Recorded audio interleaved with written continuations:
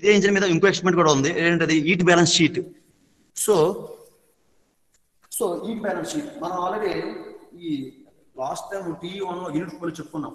So performance చెప్పుకున్నప్పుడు heat balance అనేది ఎలా అవుతుంది కూడా చెప్పుకోవడం జరిగింది.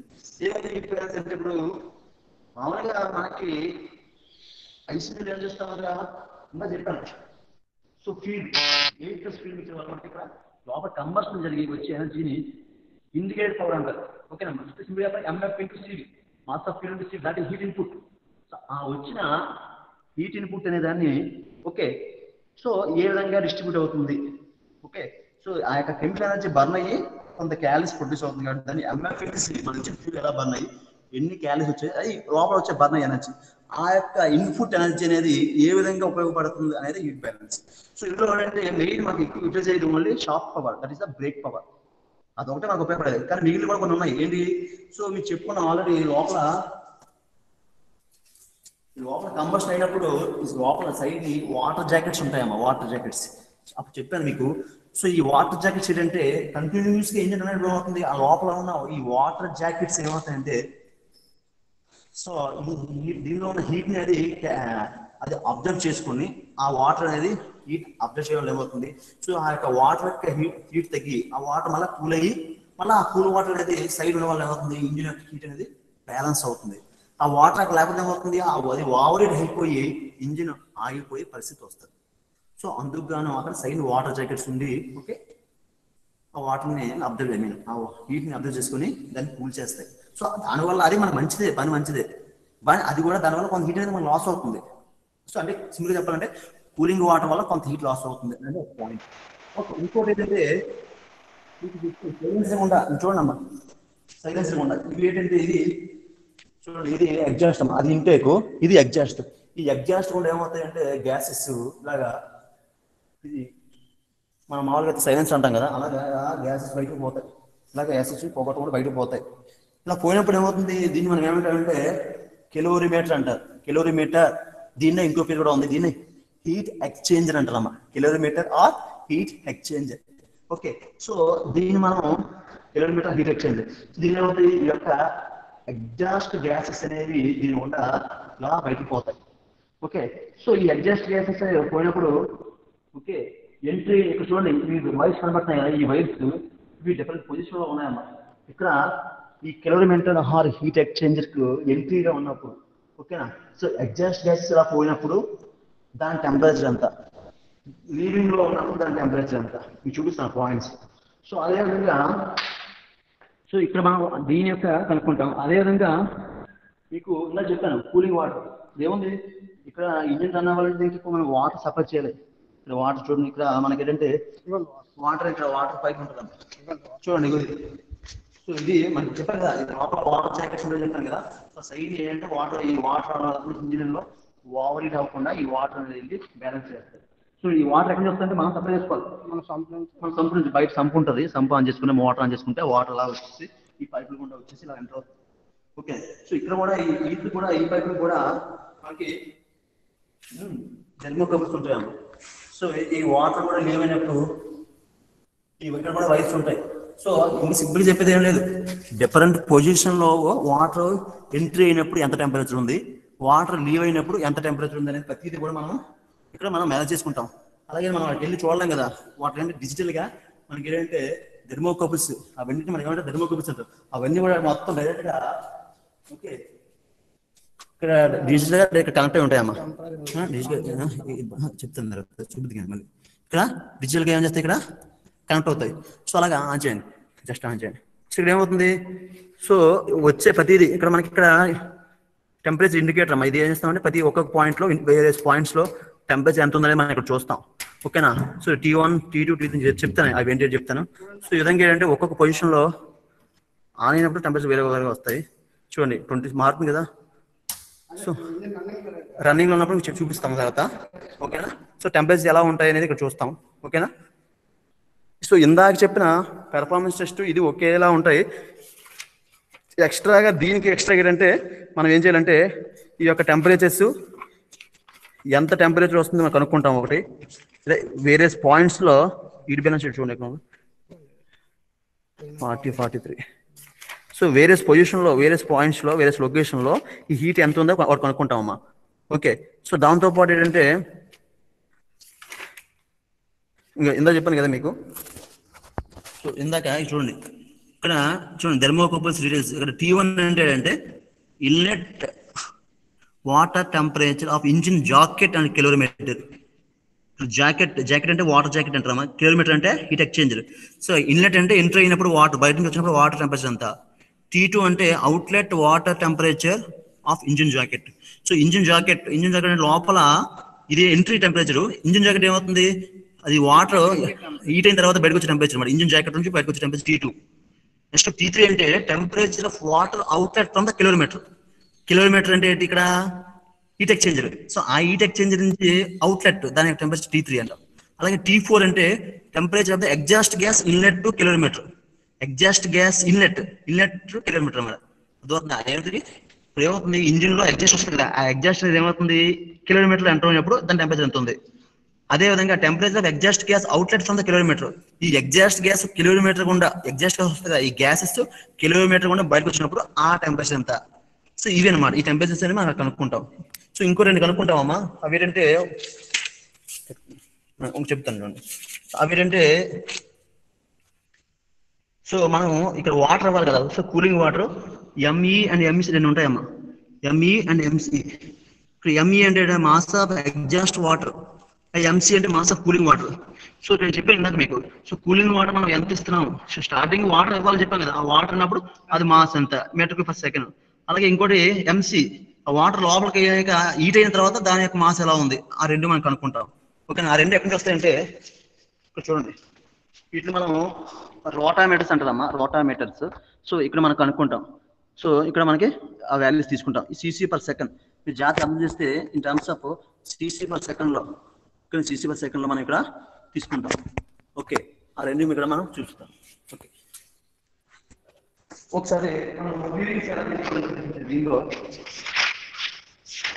సో ఈట్ బ్యాలెన్స్ షీట్ తీసుకుంటే ఈట్ బ్యాలెన్స్ మనం ఎక్కువ రీడింగ్స్ ఏం తీయవసరం లేదమ్మా ఒకటి రెండు రీడింగ్ తీసుకుంటాం. చూడండి సేమ్ దానిలాగే. పెర్ఫార్మెన్స్ చెప్పాను కదా. So W S same దానిలాగే.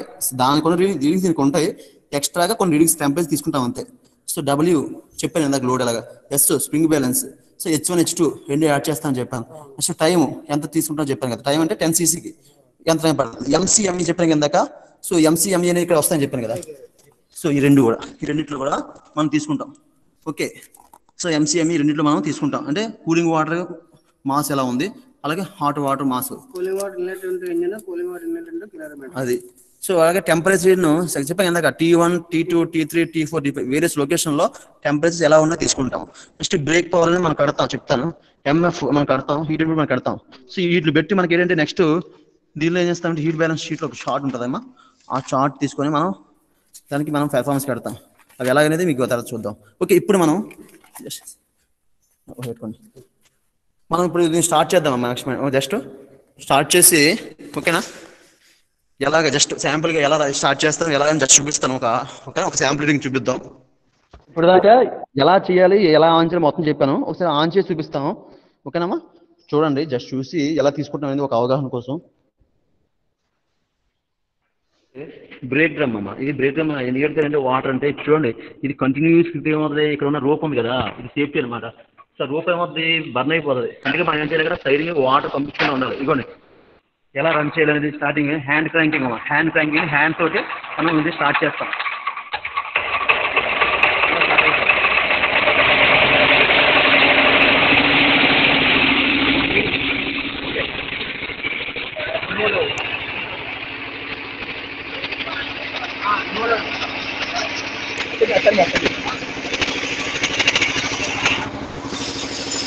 Starting load load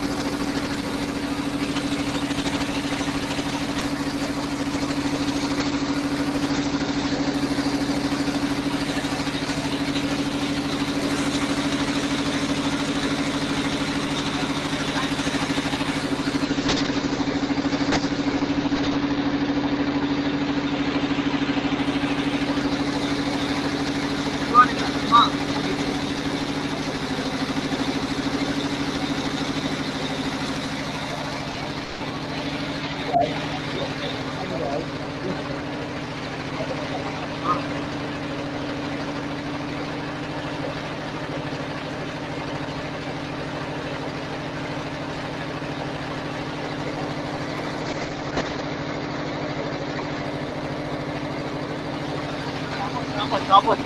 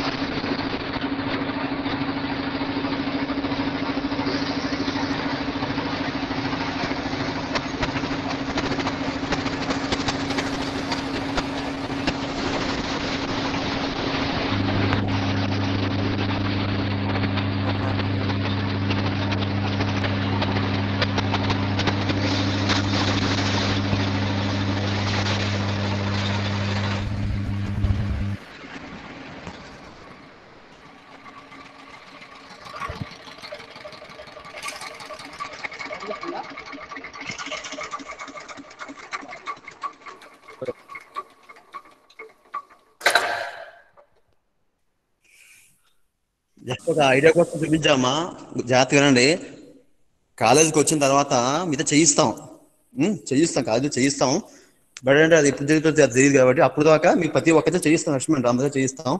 but ఏంటంటే ఎలా అవుతుంది తెలియాలి కాబట్టి. ఇప్పుడు ఈ క్యాలిక్యులేషన్ బోర్డ్ చేయడం వల్ల రెండు ఉపయోగాలు ఉన్నాయి. ఒకటి ఈ ల్యాబ్ ఎలా క్యాలిక్యులేషన్ చేయాలని తెలుస్తాను చెప్తాను మొత్తం డీటెయిల్ చెప్తాను. చెప్పాక చేతులు.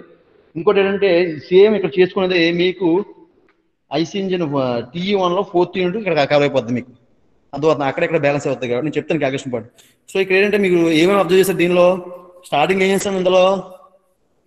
జస్ట్ స్టార్ట్ చేసిన తర్వాత జస్ట్ లోడ్ వేసామమ్మా లోడ్ ఏం వేయలేదు మనం. జీరో లోడ్ వేయలేదు. మనం ఏం చేసింది లోడ్ దగ్గరే. చేసేసి ఏం చేసాము? ఇక్కడ రీడింగ్స్ తీసుకుంటాం. ఇక్కడ ఏమో జీరో ఉంటాయి. ఈ ఇక్కడ ఓన్లీ హెచ్ వన్ హెచ్ మనం తీసుకుంటాం. నెక్స్ట్ ఏం చేస్తాం ఇక్కడ అంటే మనం ఇక్కడ కరెక్ట్గా ఎప్పుడైతే మనం ఫార్టీ అనుకుంటాం.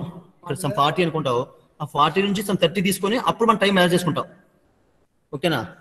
కరెక్ట్గా ఫార్టీ దగ్గర టైం స్టార్ట్ చేస్తాం. స్టాప్ వాచ్ ఆన్ చేసి థర్టీకి రావడానికి ఎంత టైం పడుతుందో మనం చూసుకుంటాం. టెన్ సీసీ అనమాట ఓకేనా? ఇప్పుడు అంటే అక్కడ అంత ఈ సౌండ్లో మీకు వినబడదని నేను చెప్పలేదు.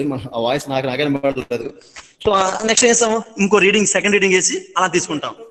టూ కేజీ చేసినప్పుడు సేమ్ సేమ్ ప్రొసీజర్ అలాగే ఇంకో నాలుగు కేజీలు సిక్స్ కేజీస్ సేమ్ ప్రొసీజర్ దేనికన్నా. ఓకే. సో ఇందులో ఏంటంటే ఏంటంటే ఈ నార్మల్ది పెర్ఫార్మెన్స్ టెస్ట్ సెకండ్ ఏం చెప్పాను? Heat balance sheet. దీనిలో ఎక్స్ట్రా ఏముంటది? సేమ్ అదే సేమ్. ఇందాక ఏం రన్ చేస్తాం అదే రన్ చేస్తాం. ఎక్స్ట్రా ఏం తీసుకుంటామంటే జస్ట్ ఇందా చూపించాం టెంపరేచర్స్ సో వేరియస్ లొకేషన్స్లో మనం టెంపరేచర్ తీసుకుంటాం అంతే దీనిలో. ఓకేనా సో టెంపరేచర్ జస్ట్ మార్క్ తీసుకుంటాం దీనిలో. సో ఇంకా ఎక్కడ ఏం తీసుకుంటాం అంటే ఇక్కడ? చెప్పాను కదా ఇక్కడ? ఎంసీ ఎంఈ రెండు తీసుకుంటాం అంతే.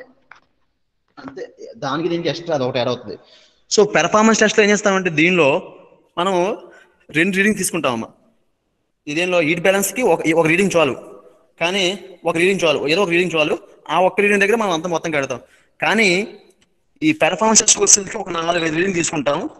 ఎందుకంటే దానికి వచ్చిన నా నాలుగు రీడింగ్లో కంపేర్ చేసుకుంటూ మీకు గుర్తుందో లేదో నేను లాస్ట్ అని చెప్పాను. ఏం చెప్పాను? సో ఈ పెర్ఫార్మెన్స్ టెస్ట్లో వచ్చిన రీడింగ్స్ పెట్టి బీపీ అనేది ఎక్స్ యాక్సిస్ తీసుకుంటాం.